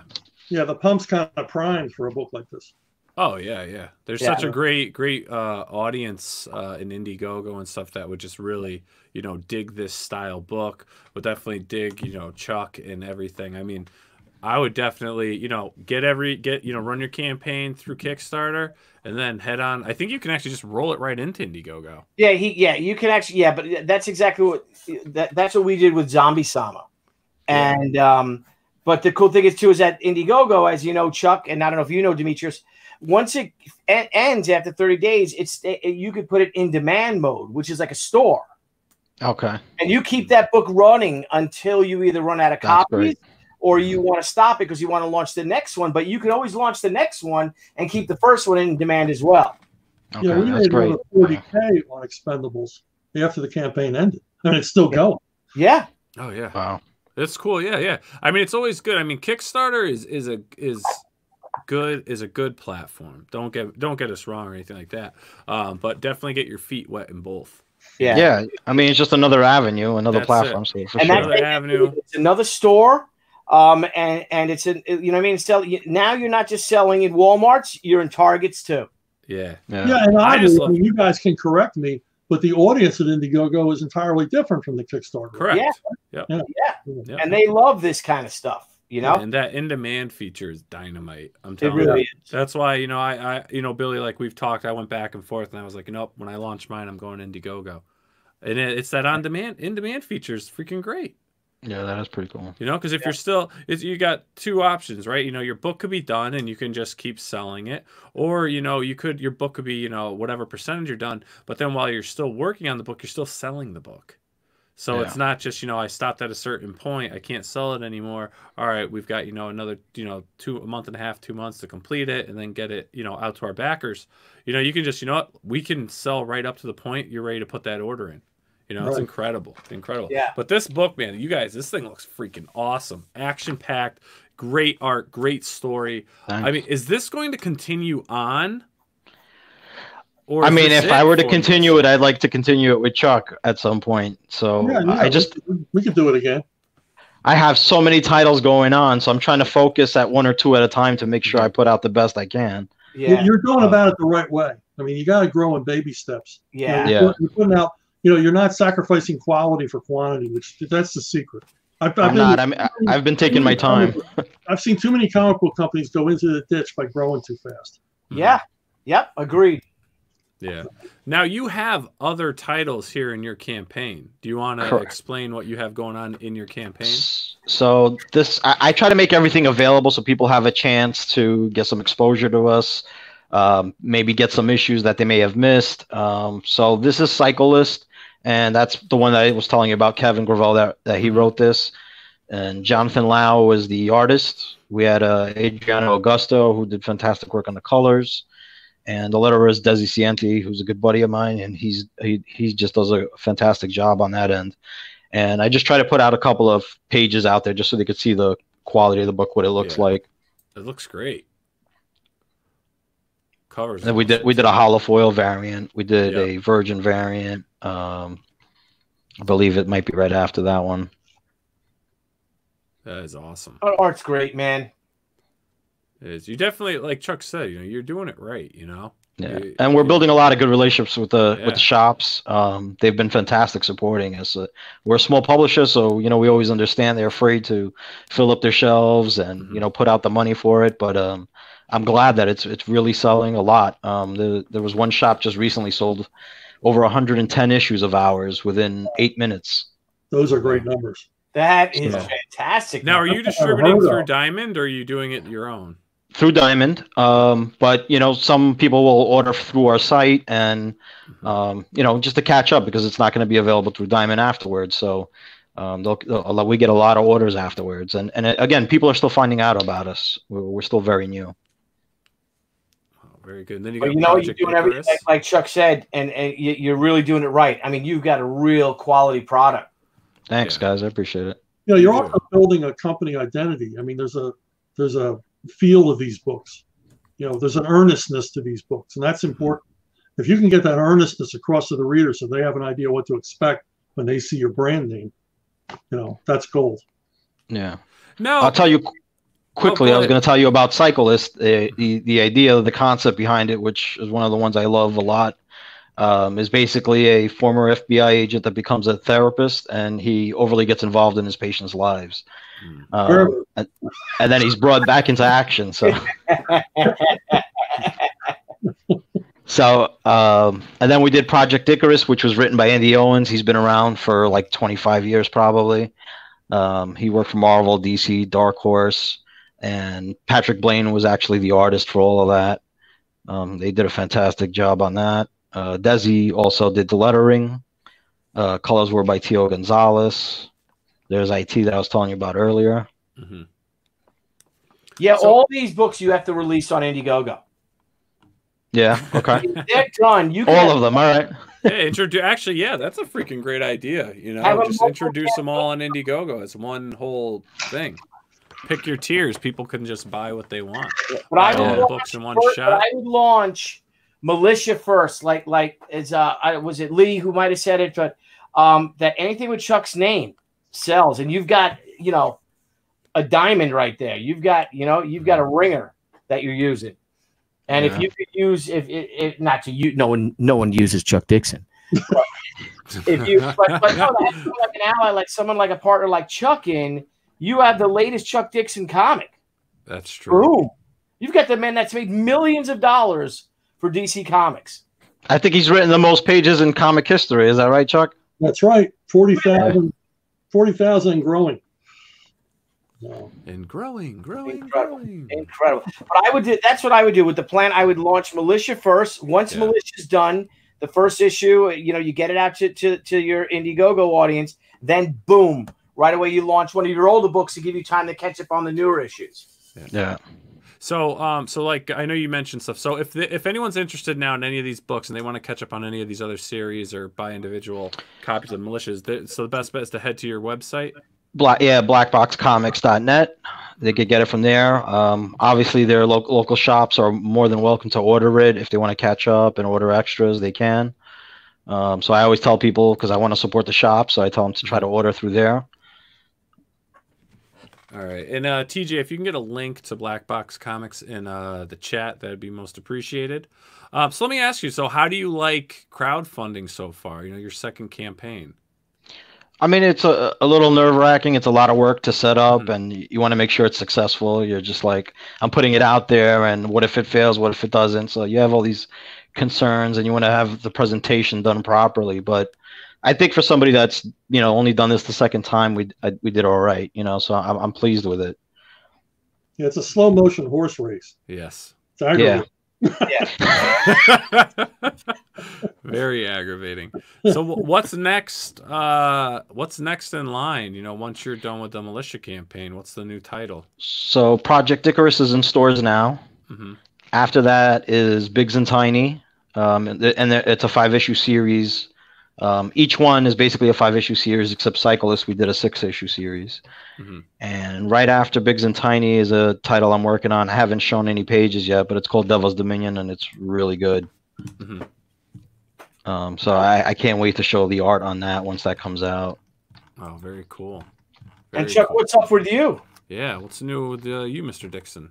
Uh, a lot of things. Uh, oh boy, just you know, working on the novels, Levon Cade. Um, I just uh, got the the uh, first uh, the script for the first episode of Levon Cade for Oh, the TV cool. series. Nice. Yeah, I heard by, about that. Congrats. Yeah, it's, written by, it's written by a writer you might have heard of. It's Sylvester Stallone Yes. So- because he's producing it. So that was pretty exciting.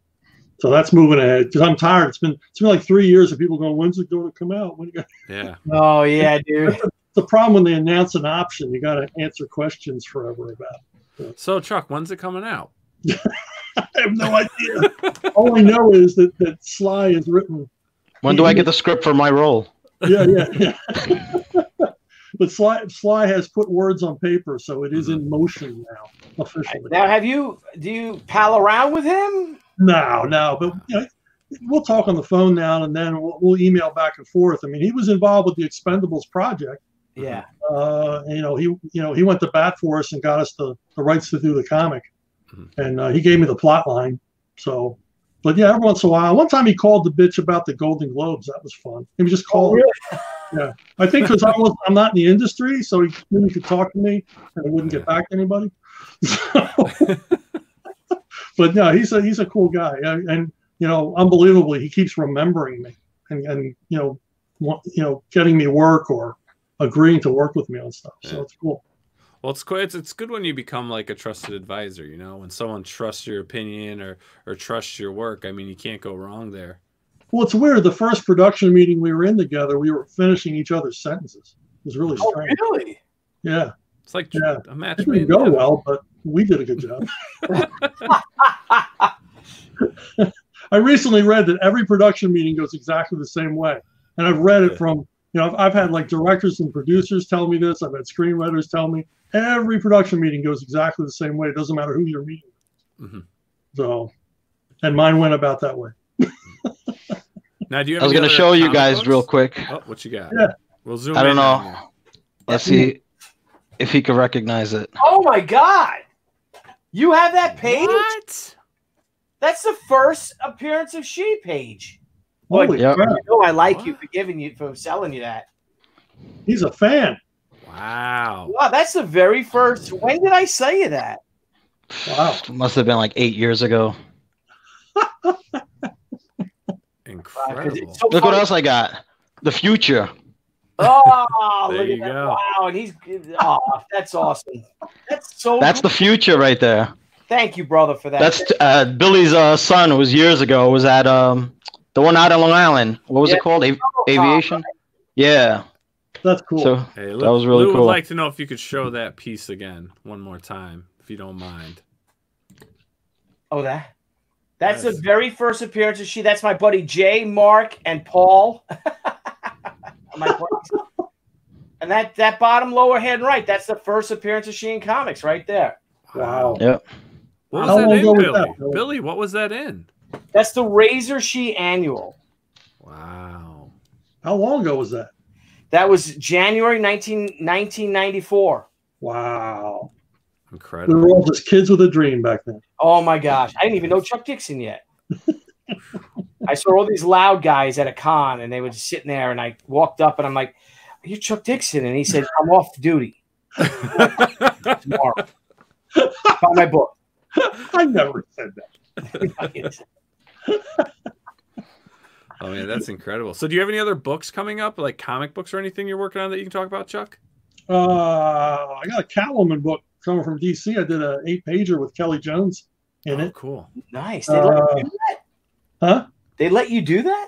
Yeah, well, the deal left and they remembered my phone number. There you go. Oh, Seriously, as soon as he was gone, the phone started ringing. I've done quite a bit of work for them. Really? I- Wow, that's awesome. I'd love. Uh, that's exciting for me. As Yeah, a big so, DC uh, guy. That's exciting. Yeah, yeah. He's. Uh, I, I guess he was the reason I didn't work there all those years. But I got. Uh, I'm doing a new webtoon project called Go Monster Go, and we're putting that together now. And uh, with an artist Tim Lattie, it's um, it's a, it's sort of a retro '60s, you know, monsters and teenagers with hot rods. Kind of. Oh, you go. Yeah, yeah. So and a bunch of other projects. I can't remember. You know, I'm working on a western now, a western novel. oh, that's cool. Yeah. Love me some westerns. Heck Yeah. yeah. That's Sounds a, um, my friend uh, Peter Bod- Bogdanovich directed my friend Steve's movie, and they're like, "What do you want to do next? What do you want to do next?" And listen, and he's like, "I want to do." I, all my life, I've always wanted to do a western, and they've never let him do a western. No, it's a tough sell. westerns. It's a tough sell. I bought the. Uh, I bought this, Chuck. Let me see if I put it up here. Hang on. What'd you get? I don't have anything to show anyone. I I got some ant no show and tell for you. Oh, that's not interesting at all. you didn't bring anything from home. No, I don't really have anything here. On your, have you might want to look at? on your recommendation. Oh yeah, yeah, yeah, yeah. There's a there's a, uh thing in there about production meetings. That's one of the stories I Oh, I haven't gotten to that yet. I haven't gotten to production meetings yet. Oh yeah, yeah. The, the chapter It's, on it's a uh, great read. I'm really enjoying it. yeah, the chapter on Saving Private Ryan is genius. Oh, I haven't gotten there yet either. I sit up He there. rips out with a new one. So Oh, cool. not as bad as I do, but he gave me new reasons to hate that movie. So Oh, really? Yeah.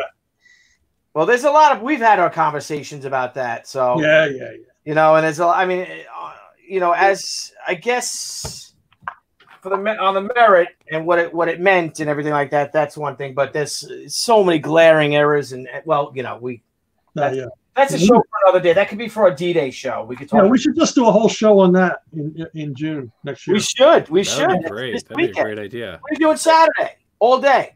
Yeah, I'll do it. I All can talk all day about how much I hate that movie. All right, let's do it. Let's do a show Saturday, and we'll talk about it's D Day. Let's talk about Saving Private Ryan. Do it. Ah, man, I love that movie. All right, we'll change your mind.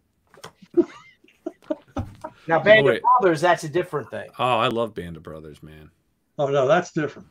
That's What was your thoughts on the uh, Pacific? Oh, Pacific was awesome. Yeah. That that fell in line. So I mean, I talked to a lot of World War II vets, and that film just fell right in line with everything they told me about how freaking nasty it was. Yeah. And there was nothing in that that thing that was you know more outrageous than stuff I'd heard about. Yeah, I've had, well because I've heard so like mixed reviews. You know, like me and my buddies, like half of us loved it. I care, you know, I enjoyed it. You know, my my grandfather was in the Navy, so that was his theater. Um, but you know, then like my other, you know, other half people I know are like, eh, I didn't really care for it. You know, if It was if a mixed I bag. never saw Band of Brothers, the Pacific would be the greatest war right? Yeah, movie I've ever seen. yeah, It was just so big because Band of Brothers, to, and we'll talk about this on D Day. Band of Brothers was so small. You know what I mean? It really was based on a small company of men. Yeah. Really, a, really a platoon of, of that company. Um, And the Pacific is literally in the name. It's the Pacific. Yep. you know the whole thing. So it's kind of Right. tough to follow a little bit. Yeah. Are they working on a third miniseries? Yeah, but right? Chuck, I swear I heard around, that right? was. I saw a teaser thing about the the, the Eighth Air Force. Yeah. Yeah. so years yeah. ago. I mean, it's like three years ago, and uh, I'm interested in that one because my dad was a bombardier in the in the Mighty Eighth. So Oh, Oh, really? wow. That's yeah, awesome. he did 24 or 25 missions before he cracked up. He just couldn't get the plane. anymore. They sent him home. So Wow. Oh man, we've got you're Yes. ready. Let's keep talking. I've got a French Let's here. let's shine a light on this really quick. Here. All You did, you did bring things for show and tell. And it worked out, I guess, huh? It worked Hang out. what I got here? Oh, great. The one up, one upper, one upper. One up. Do I have my? He's gonna Uh, parachute off his roof? You know roof. what? I was just going to say now, now. Now Billy's going to hold this up. is where a I pull com- out my bazooka. And And I'm he like, holds oh up- yeah. This is Chuck. This is a. I got the drum mag too over here. Let me see the barrel length. It's no, this is an M28 Thompson. It's not real. It shoots blanks. Oh, okay. So it's, It's a movie it's prop. regulation length. Manufactured in Tokyo, Japan, I think in 1969. and it's a uh, it's an M21, 1921 Thompson. Yeah, so it's the right barrel length. 25 caliber blanks, Wow. and it, and it, it goes. It's fully auto. Is this badass or what? Yeah, because the ones you can buy, I mean, the actual Thompsons you can buy, the semi-auto, the barrel's too long. It's not. Yeah, really- it's got, it's got an 18 inch Hmm. barrel. yeah, that's Yeah. all wrong. Yeah, so if I measure this, probably 10 and a half. Well, yeah, probably 10 and a half inches. Oh, beautiful. Yeah, we get we got a question that popped a couple times uh, from Lou. Chuck, when is the Hot Rod book coming out? My dad really wants to know. Well, it's Please. it's on Webtoon, which is a, a digital only, uh, but it should be out like in the next couple of months. I have a Patreon page under Archaven, um, and uh, you can go there and see some preview artwork. Um, so if you go to Patreon Archaven, spelt the way it sounds, you can you can see preview art. So and it's a weird it's a weird format because you scroll down as you read it. But Yeah. what's cool is that Tim did artwork. I mean, obviously we have we have races in it because it's hot rods, hmm and as you scroll down, you follow the race. I mean, it looks Oh, like the cars cool. are going down the screen. Hey, Oh, that's neat. We TJ, gotta could check you that out. find that link for us, please, and post Yeah, it? in? TJ, Frank Amazing, or Herrenberg. If one of you guys could get that link, actually, Frank, if you get that link and put it in the show description, that'd be great. Um, and then Chuck- if one of the other guys can get it in the chat. Chuck, this is a real drum mag. Oh wow! Not drum mag that they use for blanks, and you load up the blanks in it, God, that's cool. And the springs work, and every. It's it's just it's badass, man. Did you ever fire a Thompson? I'd love to fire a Yeah, I did. I did at at at um. I went. I had the, the privilege of going after Sergeant Rock. I got invited to West Point for a historical weapons shoot. Oh, Oh my dude! Oh my god! But now when I was in the army, you know, we had M60s and saws, right. and when you shoot an M60, right, or it, with the American way of shooting, it's uh, three to five second bursts, right? So you got that gun, and you're like, and you're supposed to count three to five second bursts, three to five second bursts, and that. With the German MG42, they had an MG42, Oh, and it, but it's seven to ten second bursts. Oh, wow.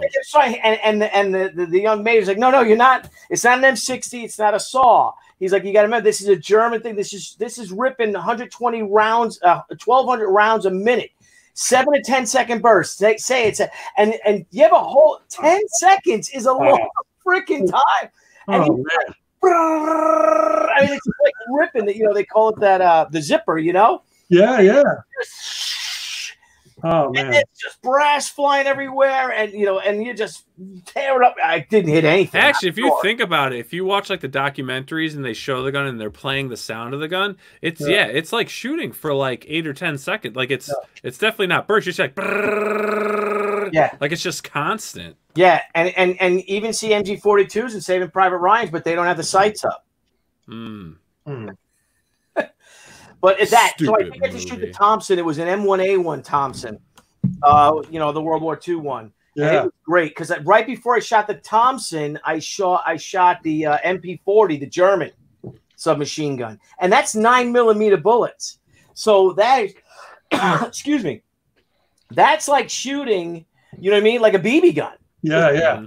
And then you shoot the Thompson, like bah, bah, bah, bah, bah, bah, bah, bah, bah. it was great. You know, I, you got to love World War II, man. I love World War II. I II. love it, man. You know, the, the, the ammo, and you look like I said. I was just finding bullets here, and here's the comparisons. If you look at the bullet of like the AR-15, Yeah.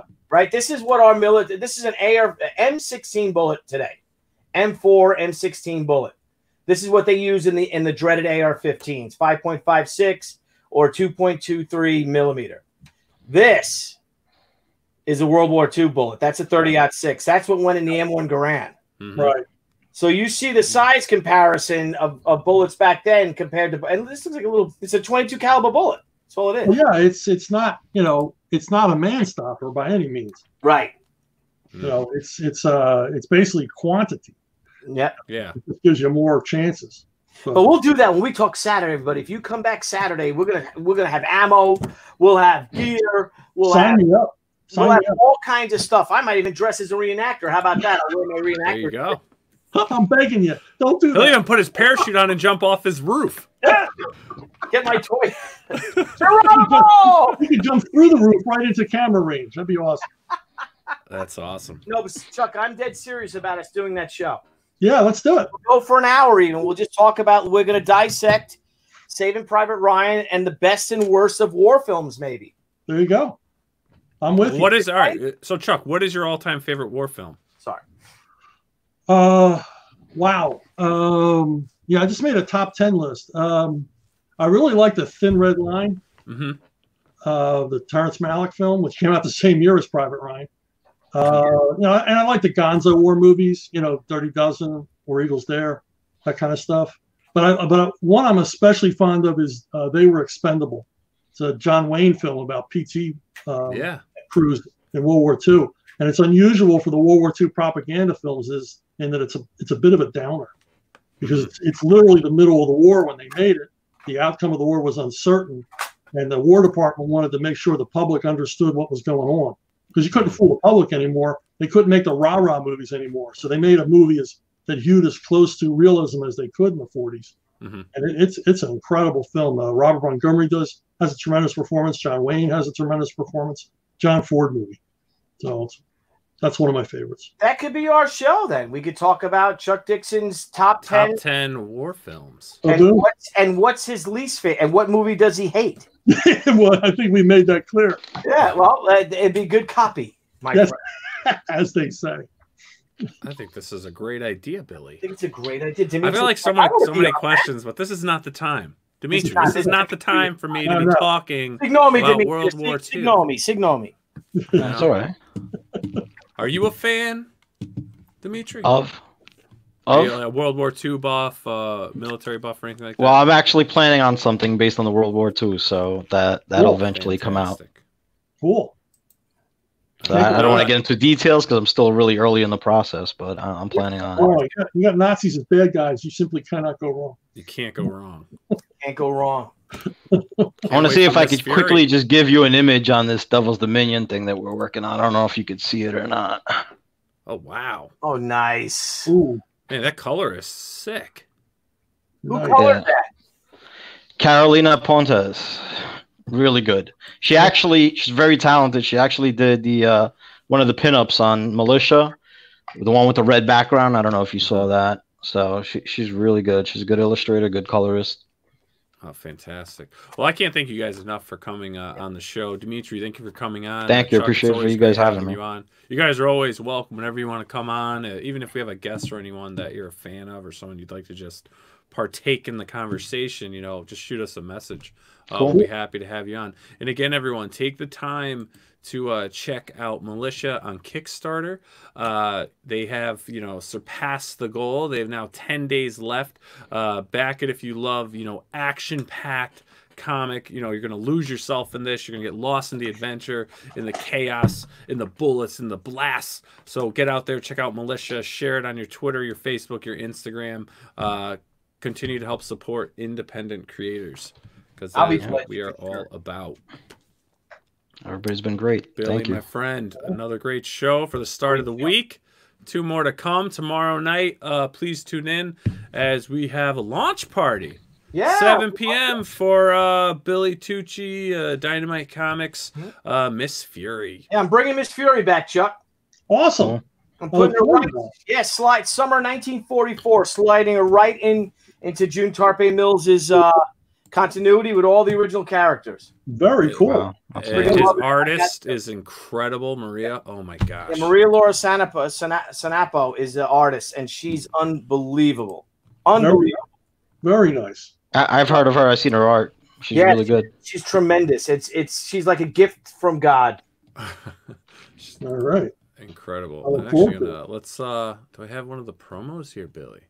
Where are we at now? Where what are we uh We got we got less than 24 hours before we launch. so you know what? Let's uh we'll do a little sneak preview to uh the next promo that's gonna be coming up, right? Is that what we're gonna do? I don't want to hold you guys up here. I'm just gonna pop this thing up. Come on now. Come on now. There we go. Boom. There you go. So this Ooh will la be la. launching tomorrow night, 7 p.m. Miss Fury. Only on Indiegogo. Only on Indiegogo. Thank you for that. That making that promo, Nile. Oh, anytime, my friend. Anytime. And All Chuck, right. again, thank you for coming on. Dimitri, thank you for joining us on the show. Thank uh, you we'd guys like for to just having do a me. quick shout out to the amazing people we have out in the chat James Allen, Israel, Heroenberg, James, TJ, uh, Lee, Lou. Oh, there's so many here. I'm I'm going to say the Mob Israel, Seat, Steph, Herrenberg, or, or Dale, Patty the Rock Biter. I mean, there's so many people in the chat here. Yeah. James, so many, so many, so many great Yeah, there's a lot of people. Thank you all. so we appreciate your uh, participation, and we will see you all tomorrow at 7 p.m. Everyone have a great night. Thanks again, and make sure to check out all three campaigns we had tonight. Back them, share them, and uh, let's keep that indie creativity alive. Chuck See it you up. Saturday. Yeah, guys. See you Saturday. All right. Bye. See you guys later. Have a good one.